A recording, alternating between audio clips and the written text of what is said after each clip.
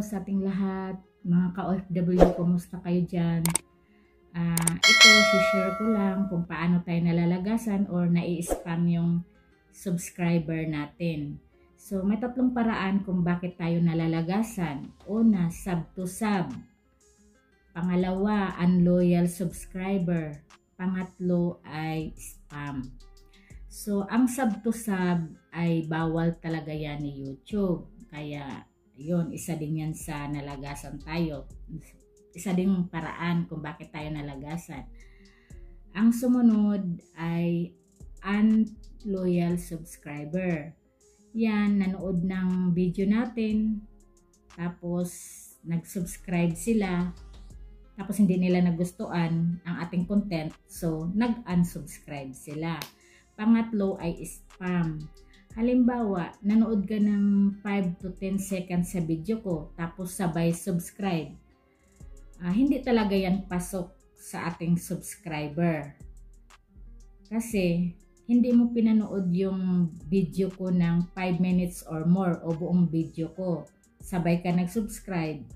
Yun, sigurado yun pasok. Pero pag madali ang subscribe, talaga mai spam yon So yun ang mga tatlong paraan kung bakit tayo nalalagasan. Ito mga kapapo ay base lang to sa aking karanasan. So, isi-share ko din sa inyo kung paan kung paano maibalik natin yung mga nagsusubscribe sa atin na na-spam, ba?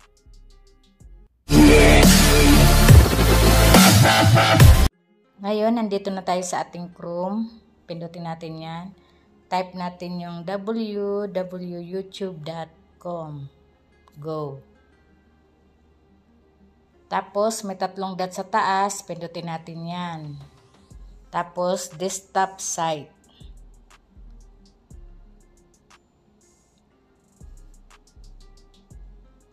Logo pick natin sa YouTube. Pindutin natin yan.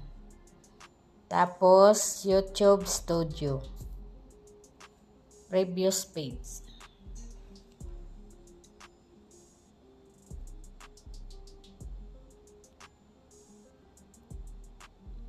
So ngayon, dito sa may baba, isusum lang natin, dito yung mga recent subscribers.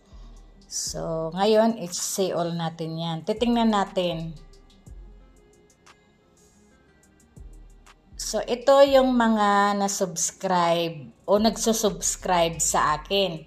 So, dito sa may dulo, ito yung uh, blue, subscribe. Ito din yung unsubscribe.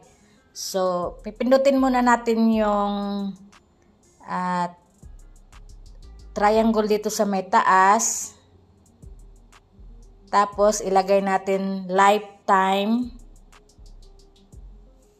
Tapos may dito sa may baba may rose pair page. So gawin natin pindutin natin 'to. So gawin natin 50. So ngayon itong gray unsubscribe at saka itong blue na subscribe ito yung nagsusubscribe sa atin. So, itong blue, ito yung mga nalagas na mga subscriber natin. So, syempre, kailangan din nating ibalik sa kanya, sa kanila yung mga uh, nalagas o na-spam para naman makatulong din tayo, tayo sa kanilang YouTube channel, 'di ba? Siyempre unfair naman 'yun. Tayo nag uh, nag-subscribe sa kanila tapos sila nag-subscribe sa atin tapos 'yun na lagas, kaya kailangan din nating ibalik. So, ipindutin natin yung blue na subscribe. Yan. Marami to na na, na. So, yan. Ito, nag-a-appear to sa mga YouTube channel din nila na binabalikan sila ng, tingnan mo ang dami-dami, ng subscribe natin. Yung pangalan natin doon sa kanila, nag a yun. Siyempre. So, sana lahat din ng mga subscriber natin uh, ganun, ganito din ang gagawin. Siyempre naman, uh, magtulungan, magtutulungan tayo para maiangat natin yung mga subscriber natin at siyempre lahat tayo masaya, 'di ba? Ayan.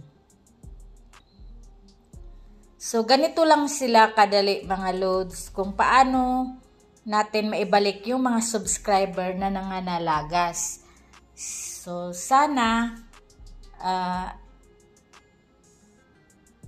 matutulungan tayo at matulungan din nila tayo, 'di ba? Kaya ganun lang siya kadali mga loads o mga kapapo na magbalik ng mga nalagas na mga subscriber. Oh. So yan mag-a-appear na yan sa kanila. Kaya ayun. Ganun lang siya kadali mga loads kung paano natin ibalik yung mga mga nang spam na mga subscriber natin.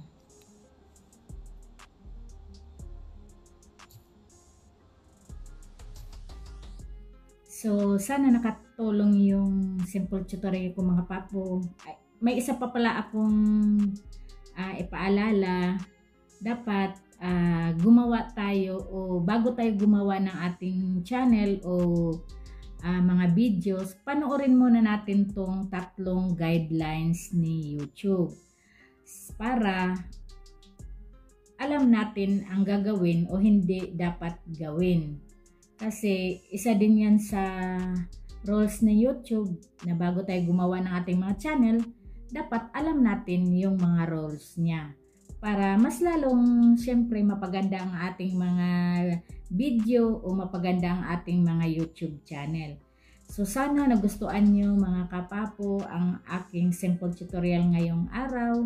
Kaya don't forget to like, subscribe, comments na rin kung anong uh, hindi ko pa na isabi o na i-share sa inyo. So salamat sa inyong panonood. God bless us all.